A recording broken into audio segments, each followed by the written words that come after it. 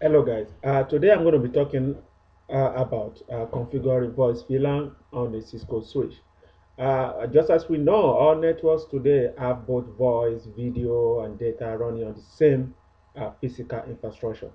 So being able to uh, create voice VLAN make it really easy for network engineers to have a Cat5 draw being shared between the PC and the phone and still being able to keep them on separate uh, subnet or separate VLAN, so to say.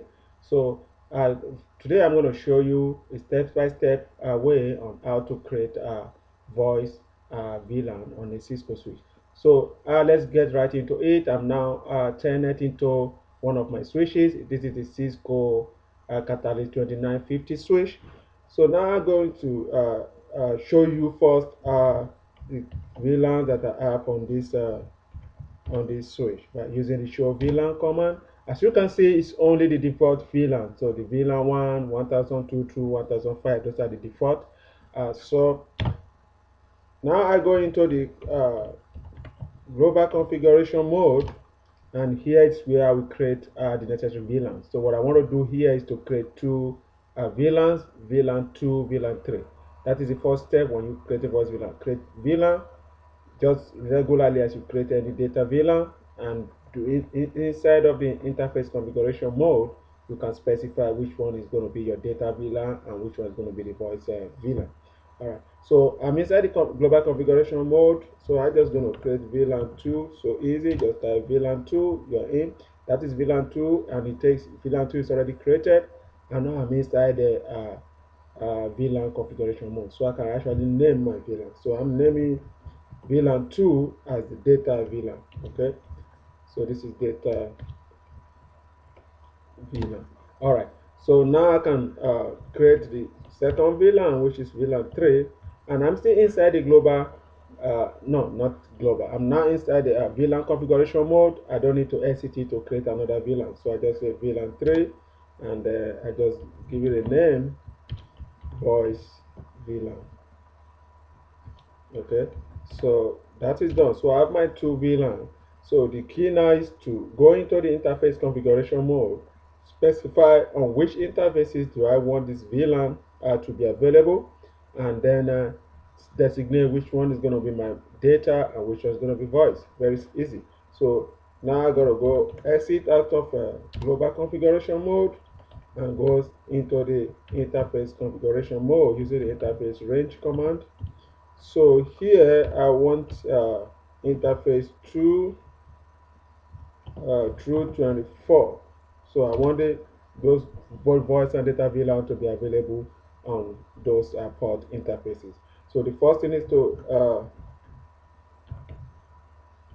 declare the mode. So it's, uh, it's, access mode. That's one of the beauty of voice VLAN. You don't need to turn on your port to have all the VLANs, to have those two VLANs available. All right. So switch port mode is access, and then I do switch port access VLAN 2. So I just specified that as my data VLAN. It's a regular access VLAN, which is uh, uh, my VLAN 2. And now I specify the voice VLAN. Voice voice VLAN 3. So write now I just specify that as my uh, voice uh, VLAN. So I'm going to exit into this, exit again, uh, save my configuration using the right command. And now I can do show VLAN to verify my configuration. And then here you could see that I have now uh, VLAN 2 and VLAN 3.